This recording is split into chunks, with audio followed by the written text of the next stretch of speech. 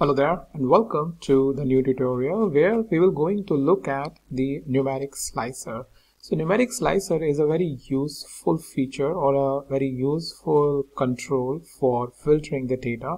So think about a scenario where you need to or your user is basically asking you to provide let's say a filter where they can select the start of the range and end of the range let's say for example the sales and they want to look at within a specific range, what are the different products that are being sold. So for example, uh, say products which are having the low value of sales, product which are having the medium value of sales and the high value of sales because that opens up a new opportunity to look at your data from a different perspective and we will see in this video how we can create a numeric slicer which is also very straightforward if you have already seen the other slicers that we have created we will create going to create in a similar way this slicer and uh, filter the visualization. So let's go ahead and go into the power bi and create it. So here we are within the power bi and i'll just click outside and uh, select this slicer. Once we have this slicer what i will going to add is the sales. Once i add the sales it will add like a range. So if you remember from the previous video we when we added the dates it added the date as a range as a default. So similarly over here we have the option of uh, having or it has Power BI has the default option of giving you the slider for the uh, range of values for numeric values.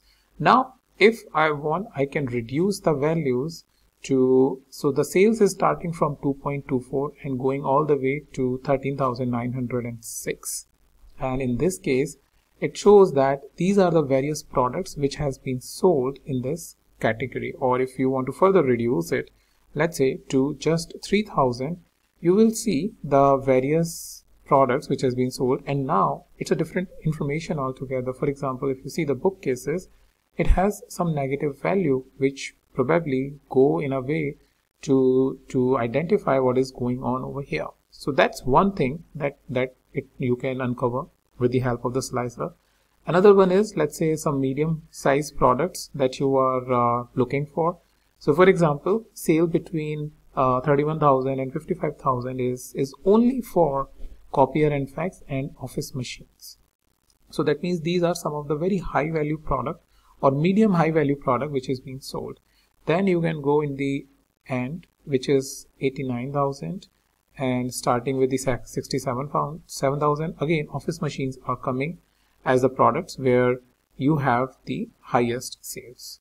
So this uncovers as i mentioned it this uncovers a lot of valuable information and then it is up to you how much we want to massage the information for those negative values as to keep the negative values different and uh, positive values different. But that's more of an advanced thing but here we have the option by which we can make sure that we can look at a specific segment of the data by adjusting the ranges. If you want to clean it, like earlier the date slicer, we can clean it with the help of this clear selection. Also, from this drop down, you have the option of uh, between. You have the option of using it as a list. For each value, you have the drop down that will going to save the space for you you can select this value for each of the different products as the sales is present for each of the product. Also a couple of others like uh, less than or equal to. That means the minimum is fixed. You can change the maximum.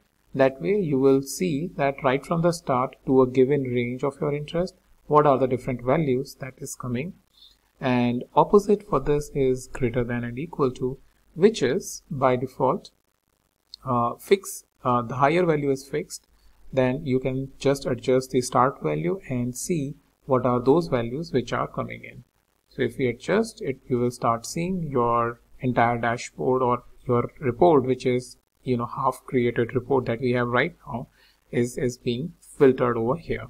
Also like the text filter and the date filter we have created the hierarchies. Here also you can create the hierarchies by let's say along with the sales you may want to have or you are having an interest of quantity as to what the quantity that is being sold you want to filter that so now you have the option by which you can select this information and as we make the changes you will see that over here we only get the two different options. That means your option within the list box as to how it will be shown to you will be changed. So let's say we want to see it as a drop down and within the drop down we, we get this information of different products. Let's say for this particular product the quantity is just three for uh, maybe one particular order. So we will just click over here and it shows you the product information that binders uh, and binder accessories and what has been its value which is in a negative 14.16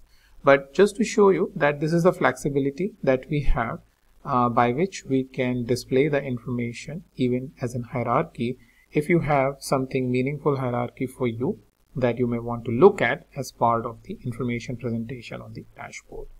So that's about how you can create the various different slicers within the Power BI and like I have shown you earlier if you have a need to format it you can always come here in the formatting option like the slicer header option or the selection control that we looked at whether we want a single select or multi-select all of these options are available like select all uh, that you can change and explore with the help of the options which is given over here and uh, pretty straightforward and if you have any question you can put it in the comments and I will respond to you.